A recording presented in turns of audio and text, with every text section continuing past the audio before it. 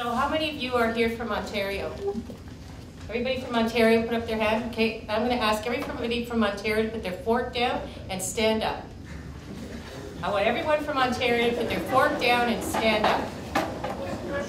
Do you know why you're standing up?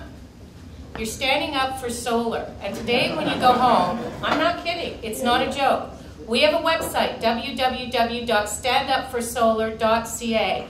Everybody from Ontario go on that, send a letter to your MPP. Because if you don't do that, you'll be, do, you'll be doing a whole lot of research and have no industry to take it up. So when I tell you to stand up for solar in Ontario, I'm not kidding. I expect each one of you to go onto that website today. I expect you to put other people's names in there and I expect you to make a difference. Thank you. And hopefully we'll have Stand Up for Solar Quebec and Stand Up for Solar British Columbia and Stand Up for Solar right across the country. So you can tell a little bit where my direction is from. And I am not an engineer and I'm not a scientist, I'm actually a librarian. So I can find the answer, but I don't necessarily mean I understand it. So this year, our board, uh, in last December at our conference, our board put out a new document called Solar Vision 2025. It's our first attempt at having a kind of vision for the solar industry in Canada and what conditions will create that. Um, it's not perfect. In fact, we expect to keep changing it all the time, and it will be very, it will be a lot of how that vision um, goes forward will be depending on the work that you people are doing, what policymakers decide to do, uh, how we work together, and how Canadians see us. But we thought we'd take it first stand. And the great thing about this is that I used to make presentations around the world and show pictures of Germany. You see all the Germans going, wait a minute, that's just down the road. Um, but these are actually a microfit pro project in Ontario, and that's a project right near um, Ottawa, actually, which is a solar farm right near Ottawa. So it just, so some things have changed. Let's see if I can do this. So let me tell you a little bit about CanSIA. We're a national trade uh, or association that's been around since 1992. We, every time, every time I make this presentation, we actually have over 700 corporate members. Um, and we represent the solar electric and solar thermal technologies. I'm going to be talking about PV today, but we do do solar thermal. Our objectives are to strengthen the Canadian solar industry, develop and expand the market, remove market barriers, improve awareness and understanding. So you might say, well, why are you here? Um, we can be the interface for you between an industry that's growing rapidly um, and that needs you uh, because what is going to make the solar industry successful here in Canada and worldwide is what you people can develop in your labs and in your universities. So that's where we meet, and we have to do, from my perspective, we have to do a better job. But I only have eight people working for me, so we sometimes don't work on Saturday nights. Mm-hmm. Sundays we obviously work. basically what is what was our vision. And this is our vision is a strong responsive and diversified solar industry in canada which delivers high value energy solutions as canadian developed solar products and serves to achieve market competitiveness on a global scale.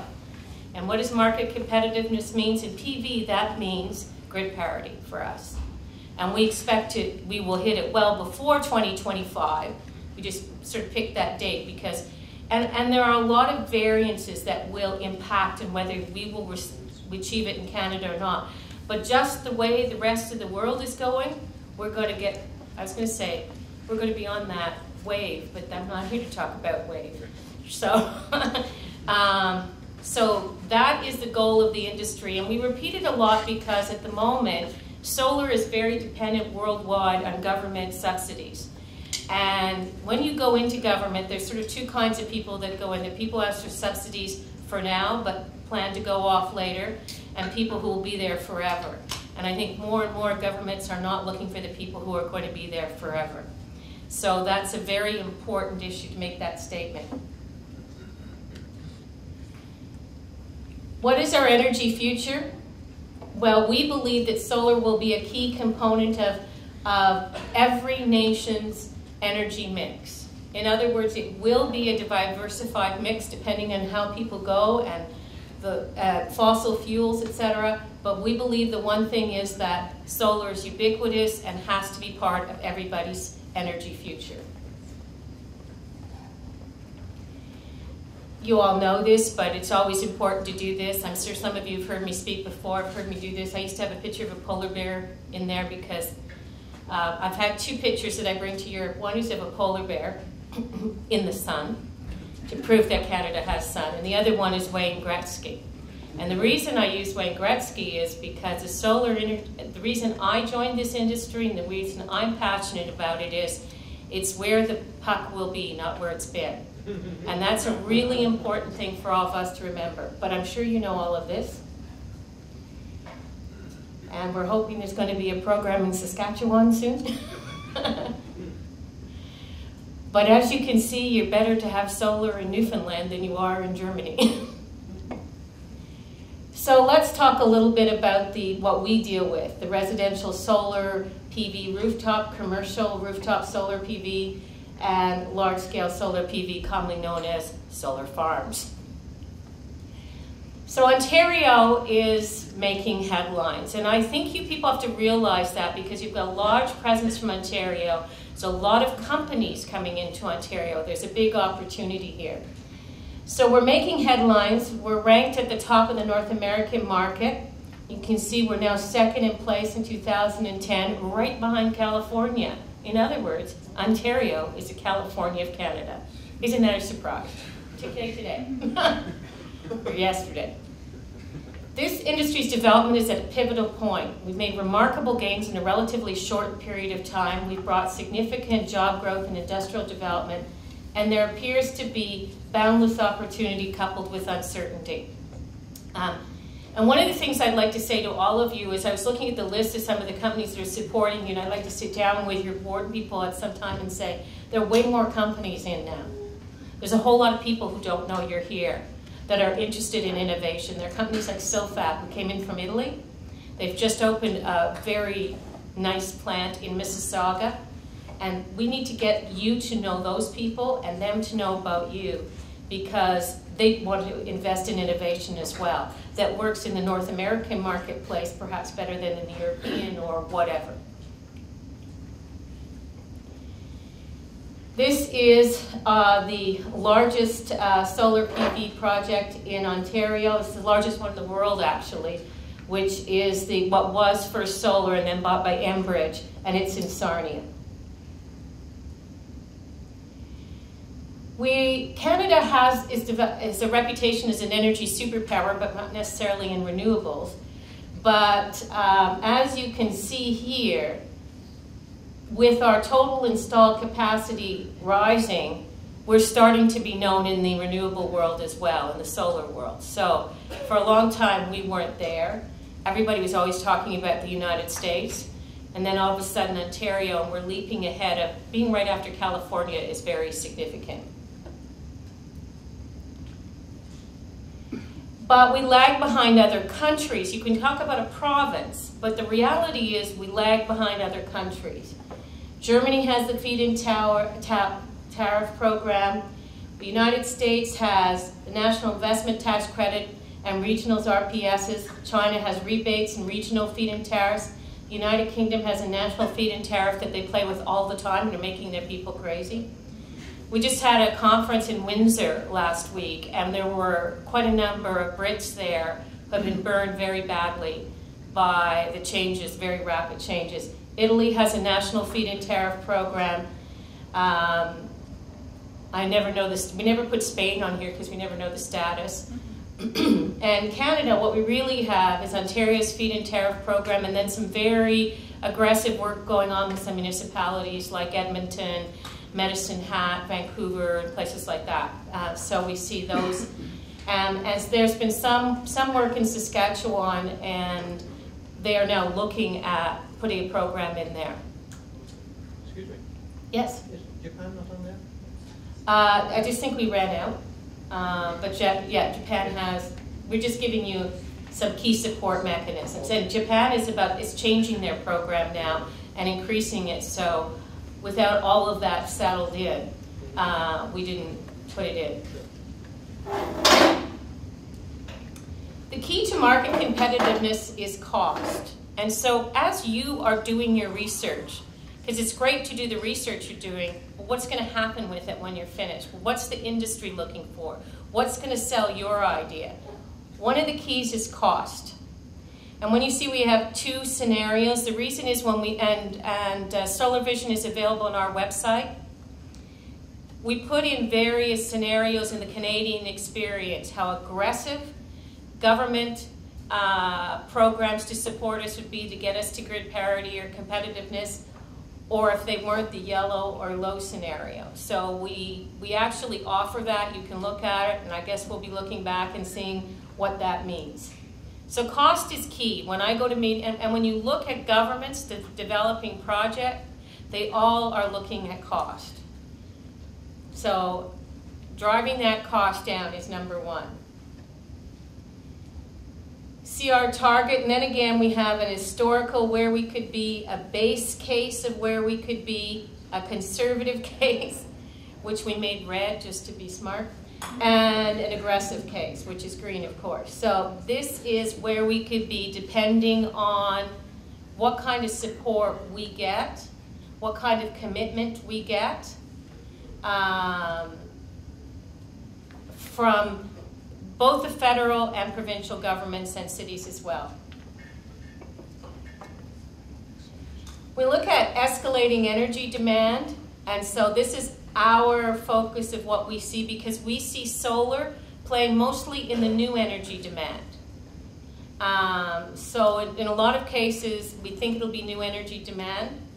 Uh, now, one of the things is that when we started working on this, we did not have, I mean, did not expect the huge gro uh, growth in the cost of uh, gasoline and uh, petroleum products. And that does have an impact on how people look at renewable energy, uh, how they're going to do that so that they, you know, there's less pressure and you can still drive your cars, what kind of cars you're going to be driving.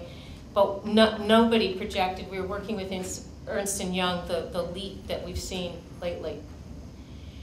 Um, it's very important to know the case for solar power, and this might to all of you, this might just seem really boring. Why is this woman getting up and telling graduate students and professors and all of you what the case is for solar. I think it's important that as we talk, we need to understand people going, well, what's the difference between solar and wind? Why would I want solar? What difference does it make, etc. The big thing is, because don't forget, you're using public money to grow this industry, and then once you become market competitive, then we're really out there. So what's the sales case? And the sales case is, first of all, it's a peaking power. So solar is there when consumers need it. And many people don't understand it until you think about it. I was looking at the IESOs. They have some um, work on projections where they were using wind. And the difference, you all know, this wind looks like somebody took a can of Chef Boyardee and threw it at that, at that and, and solar goes up and down. It does not produce in the evenings, etc. So that's really where we think we play a role. And, you know, we know there are baseload issues, but as, you know, we're going to see changes there as, as more and more places go off coal. And so inter intermediate, that's where wind fits in. But solar really fits into those peak times when you need it. And it's really important to get down to that simple because people really don't know very much. So here's some information. It's cost competitive. Solar is cost competitive at those peak periods. So we're already getting closer and closer to what will make us competitive. But for example, if solar, if there had been as much solar available, um, last last June at the end of June they had a uh, power outage in Toronto, and as it happened, the Queen was there, and as happened, they had all of that area downtown Toronto. If all of the solar installations that had contracts from the OPA had been hooked up, it wouldn't have happened. So it's really important to look at that time of day. So that makes us, where peak prices we're there and we can be, uh, have to be a part of the mix.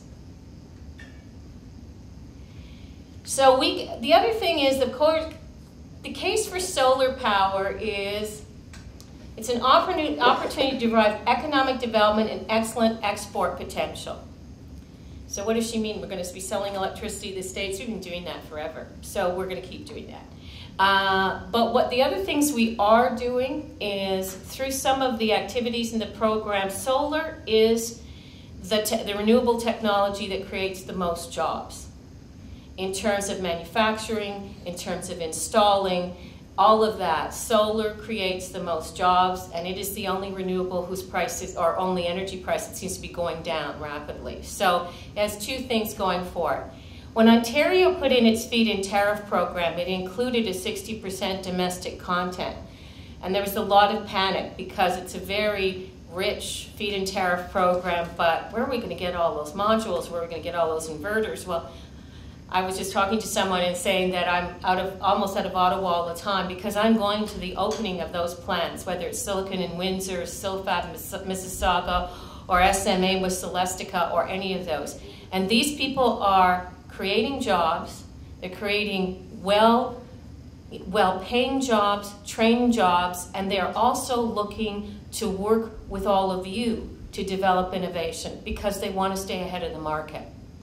So their jobs are being created, and we were worried, of course. We thought the European, the European, um, uh, the EU was going to go after us, and there was some question of that. And last week, the Italian feed-in tariff program came out with a revision, and it has 60% EU product in it.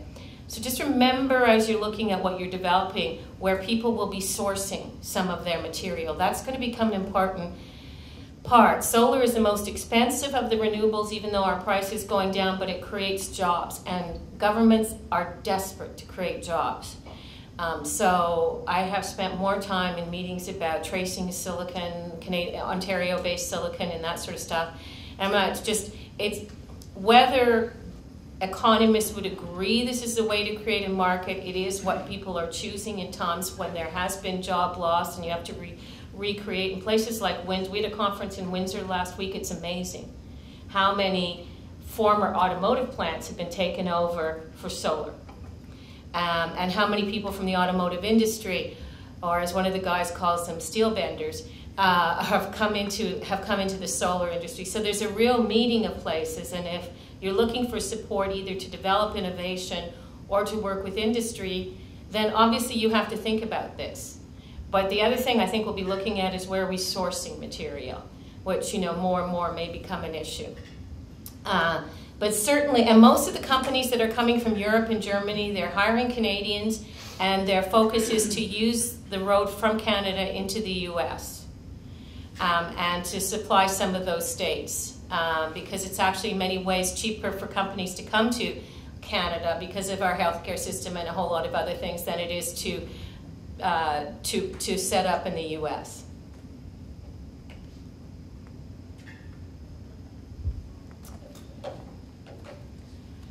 So this is where we see jobs coming from, and we do see 10% in research. We're seeing other, which is all of the associated jobs. Installing still remains key because that's something, and when you see people doing large solar farms, if you see what's happened in Europe, is often people work on that, then go and create their local company and become the local installer, but they've, they've actually learned doing large solar farms. And production is both, so it's, it's quite significant. So we see ourselves at 30,000 in 2025. I don't see us catching up to the Germans who are somewhere around 80,000, but it would be nice. But still, that will make a big difference. All these studies are on our website as well. Solar's contribution to Canada, we would achieve market competitiveness. We would then see ourselves removed from government incentives and established as a key component of Canada's energy mix. We would see ourselves with 35,000 jobs and, and displacing 15 to 31 million tons of greenhouse gas emissions per year. So we would provide a cleaner environment for the generations to come. We would create economic activity, and we'd be working on innovation to do that. Because again, to reach market competitiveness, we have to keep our prices down and our efficiency up. So you may want to download Solar Vision 2025 and it's there and you can see it. There's one of our projects from BC, one from here, the one in a, it's it's quite an interesting document. It's not over, it's just the beginning, but at least we have something to say. So let me tell you a little bit, uh, I'll let you ask me some questions. So that's Solar Vision 2025. Um, but right now we're doing a lot of other things. What we do is we spend a lot of time caught between the government and the industry. And right now in Ontario, that's really important. When I ask people from Ontario to stand up, the future of your programs and your future jobs will be affected by what happens in the next election. And for whatever reason, energy has become a football in all of it. Uh, as you should know, renewables are not what's making the price of your electricity bill go up. There's a whole lot of other reasons to do it, and we're trying to get people mobilized. We have people in, in here now in this province with new investment looking at the rest of, of the country, hoping to see solar grow.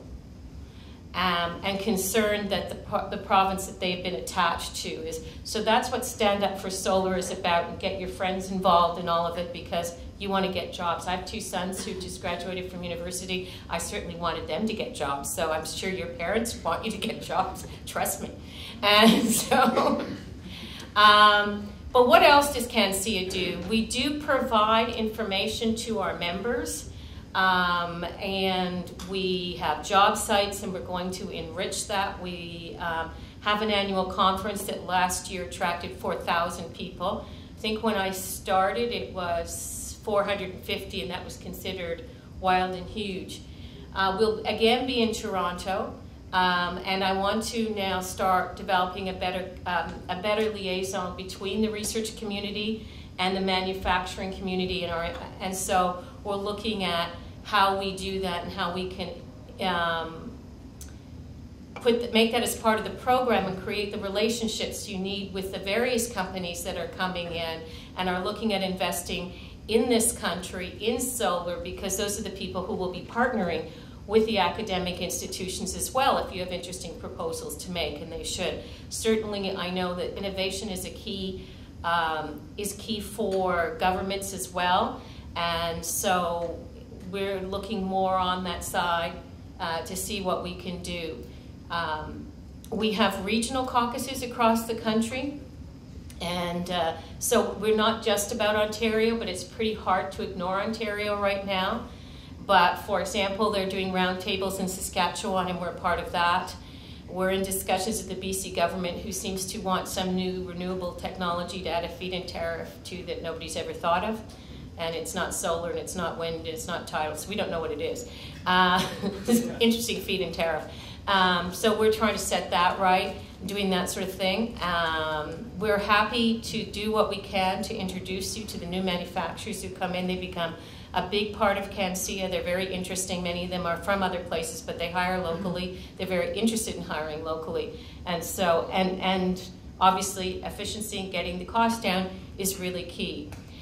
Um, so you can follow us on Twitter. You can see us on Facebook, and you can look at us for Stand Up for Solar as well. This is just CanSIA itself, uh, but we also Stand Up for Solar, so I'm expecting all at least the students here to do it.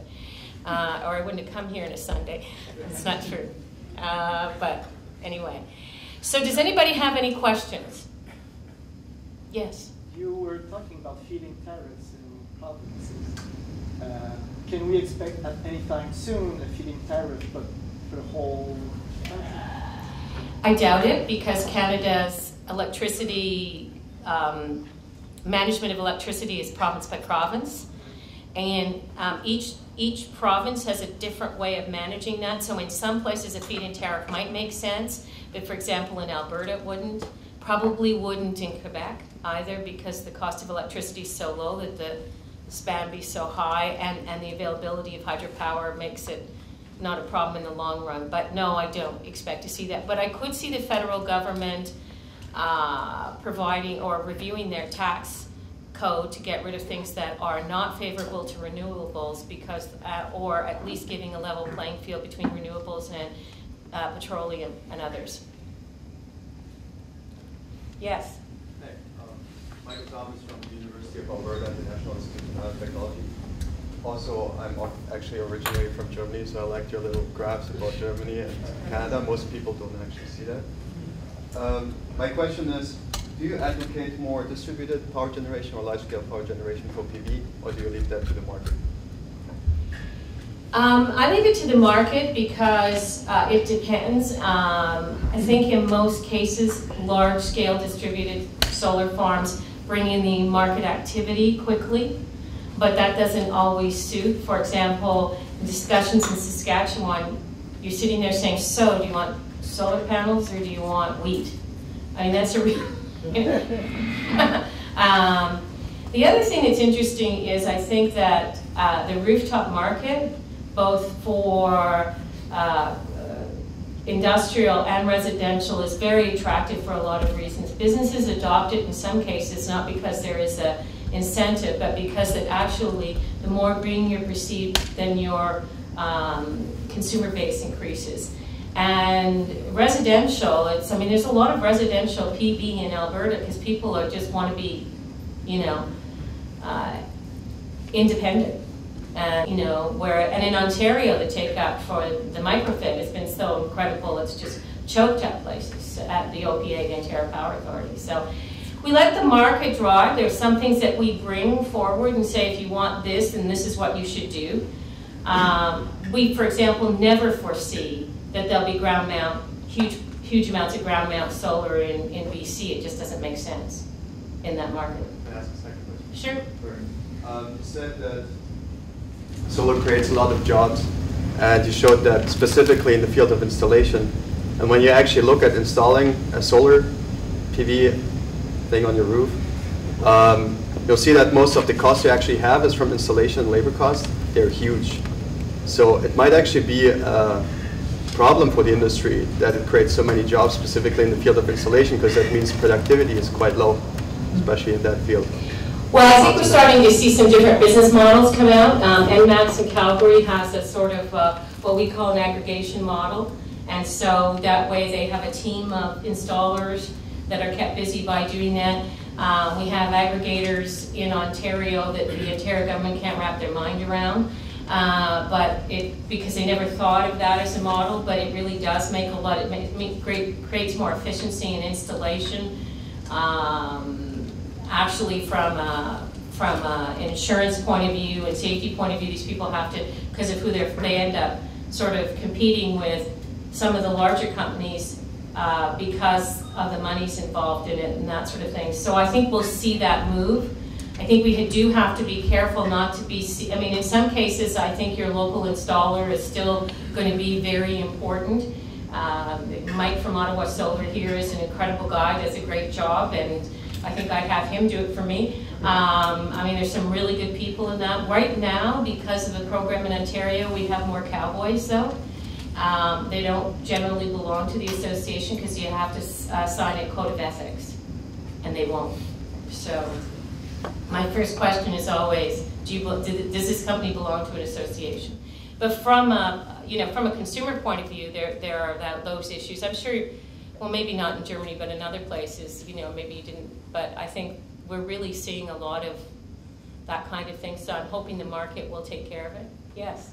What is the percentage of cost that goes into the installation and the product itself for typical installation? It can be up to 70%. So your solar panels are like from a third to a half of the installation.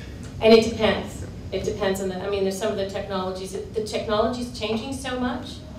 Um, you know, it depends. The other thing is that one of the things we've noticed, and this will go right across from the people doing the solar farms to people who have been solar installers for years, et cetera, the more active you are, the more efficient you get. And so better price you get for the installation. Uh, so the first solar farm that EDF put in uh, on the Galetta Road here, I mean, they really had to bring people from outside to work with this construction companies. Now that construction company is now building for Recurrent, for EDF, and it's a few others in this area because they know what they're doing. It goes much faster, all of that sort of thing. The same is true with uh, uh, even doing uh, residential work. Once you, you know, I mean, it used to be kind of a off-grid sort of thing that people did, so there wasn't that much experience. Now there's real demand, um, and so that's really meaning that uh, employers have to train people and have to really stay on it to gain the efficiencies. You mentioned that in the UK they were playing with the FIT uh, feed-in tariff and it was causing a lot of headaches. What's the risk of that happening here?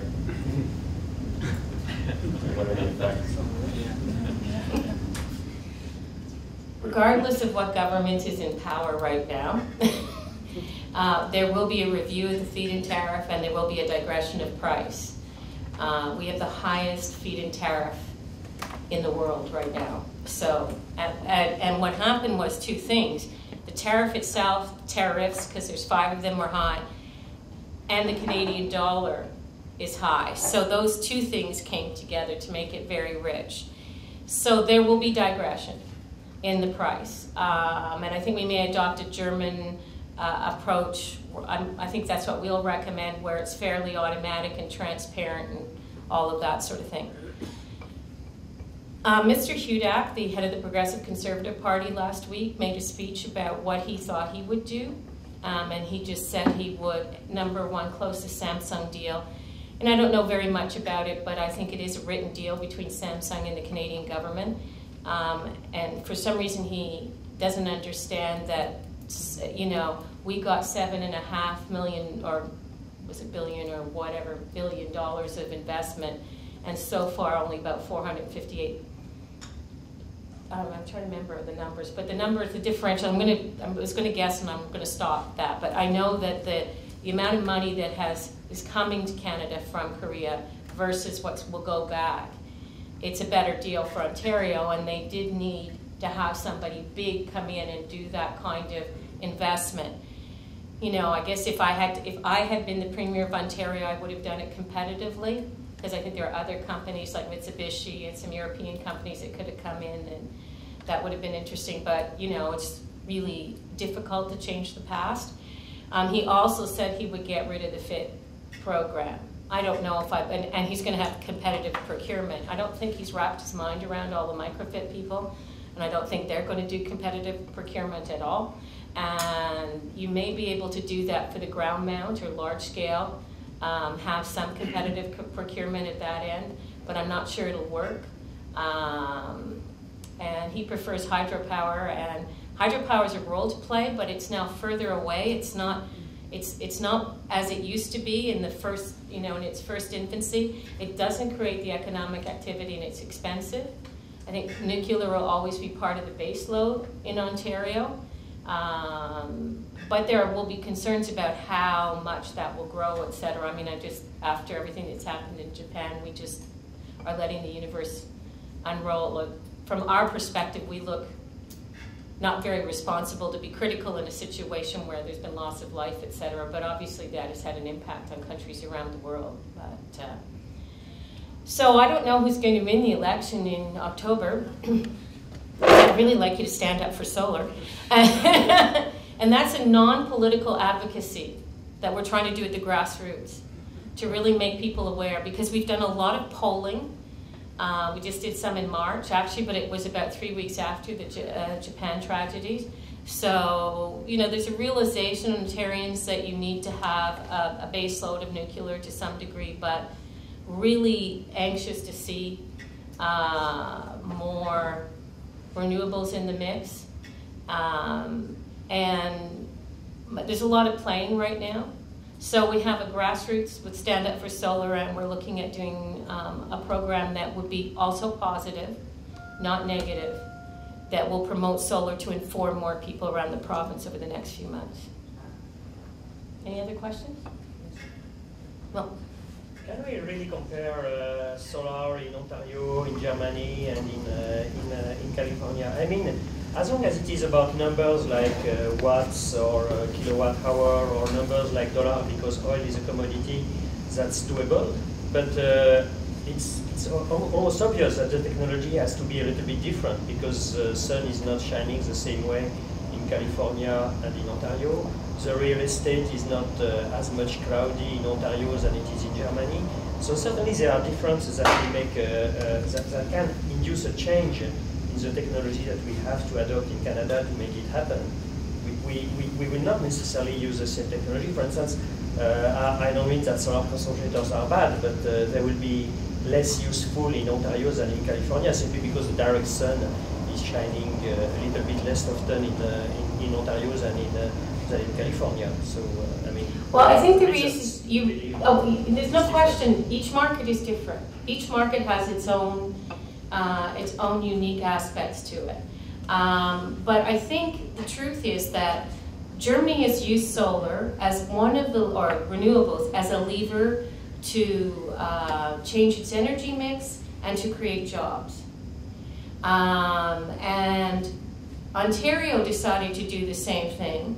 California, to some extent, you're absolutely right. I don't see, nobody, hardly anyone talks to us about concentrated solar power or whatever, or, or sees it as a technology we would sell elsewhere. Um, but I think the reason we do it is we're trying to, to awaken the people who make decisions that, that can make the industry grow and make the technology available, that there are opportunities. There's no, I've never gone and said to anyone that I thought California and Ontario were alike. I mean, I jokingly call Ontario the California of Canada. But the truth, I mean, because we've invested in the technology, but not in the same way as California. Uh, and indeed, there may be things that we can do in this province and this country that will help more northern countries uh, adopt solar, be more efficient, you know, and, and certainly where we're in a situation where um, uh, being able to store is, is going to be very important and that sort of thing. But, but there are success stories. And if we don't do that, then you really want to, you want to do research and have that research have an impact. And so to do that, you've got to make sure that people understand this is a good news story. This is a good news story that people want. It's about a clean environment, and that's really important. When we did our uh, when we did our polling through Ontario, uh, the clean environment and health aspects are really important and really important to the population. Um, and then we found that men over 35 are mostly worried about the price. So we'll have to do something about that to convince them the price is going down. But generally the support for this technology is very high. So how do we make it available? How do we inform people? How do we make sure it's there? How do we make sure that the research that you're doing in your centers is being is going to the private sector, whether it's here or going in other places. I think University of Ottawa is doing some testing for Morgan Solar, I think you were saying. And Morgan Solar probably will sell most of that technology out of Ontario, out of Canada. It, it does use concentrated solar power and small uh, PV panels, and, and I shouldn't be going even that far. Um, but, you know, and, and they're being supported by, by your network by people in, in your network, by the Ontario government, by the government of Canada. So yeah, I mean, you're right. But what it does say is there are opportunities to be part of a marketplace and to do some technology. Are there any other questions? Yes. Uh, what about, um, I've seen there's several certification programs for installers and solar providers. For example, in Germany, there's I'm sure one there's one in the US. I haven't seen a federal certification in Canada. Is that, is that coming or is that even relevant? Or the different ways of dealing with that? Certification for PV installers is really tough. It's very expensive. We tried to do some work with NABCEP and try to develop something that was Canadian and they didn't really want to do that. There are a lot of players in that marketplace. Uh, I would say that the unions are more involved and it will be province by province, unfortunately. Shouldn't be. I'm involved, um, I'm also, I'm on the board of the, um, HRSDC has these um, um, sector councils. I'm on the board of the Electricity Sector Council. We've done a lot of work to develop it. We've actually developed curriculum that would help the community colleges, et cetera, and that's being used. But uh, one of the problems of the gold rush in Ontario is that there are a lot of players that shouldn't be in it. And the unions are bigger. We talk to them. The unions and contract, um, contractors are bigger. We talk to them. We're the voice of the individual people. We're trying to work on it. But I don't see us doing it in particular. A, there's a lot of liability associated with it. Any other questions? Right here. Sorry, on, on the vol, so we, you're talking a little bit about the potential volatility of the FIT program. And have you seen a significant impact of, of that obstacle for industries to come into Ontario so far? That's a good question. Would you like to come and answer my phone every day? Um, it's hard to say who might not be coming to Ontario because of the volatility around it, because there are a lot of players coming into Ontario. I said we just we had what we considered a just regional conference last week in Windsor. We had 750 people. We took up the biggest space we could. We did all that stuff, and we could have had more people. So, I mean, I also think we may be getting we took a big bite with the FIT program, and regardless of what happens, that bite has to be swallowed. Um, so I think there's some of that. It's a little late to come in now before the pro. I think people will wait before the program review more than anything, see where the prices will go. That, that's what I think. Uh, we've done some work with Navigant on the prices and where we think they're going uh, and what the ranges are. But there are other issues, whether there should be other steps in that program, whether it should be managed in different ways. It's a very lumpy program. It kind of, I was talking to Wes, who isn't here, but he's part of the board. And FIT reminds me of a python. You know, they just lie there in the sun. Okay, so just think of them lying there in the sun, and then a whole, like hundreds of applica complicated app applications come, and they take a big swallow, and there's a big lump that's the Ontario Power Authorities. It moves through the Ontario Power Authorities, another big lump. That's the REA process. So it goes on and on like that. So I, I, I would really hope there would be ways to smooth it out. They're going to make some more big announcements on um, CE, uh, CAE, you know, as those co connection allocation exempt projects, which really aren't connection exempt, but are in their, in their words. And that'll be a big lump of projects, and then they'll make some other announcements in June before they close down the program with the review. So getting out the lumpiness would be better for everyone. I mean, certainly gives trade associations lots to do to talk about what's wrong with all these processes, but you know, you don't need an MBA to figure out if you're always just feeding the, the python in big, big, huge amounts, you're just gonna get a lumpy program. There any other questions? Yes? You mentioned that 60% um, of the materials that go into solar installations in Ontario need to be have been produced in Ontario. And you also mentioned that there are a number of companies, international companies, that are coming to Ontario. Is there any concern about the economics um, and profitability kind of leaving Ontario? Like, yes, there'll be job creation, but um, in terms of well, I think most of the most of the companies that have come, first of all, 60% Ontario content, and that includes some labor.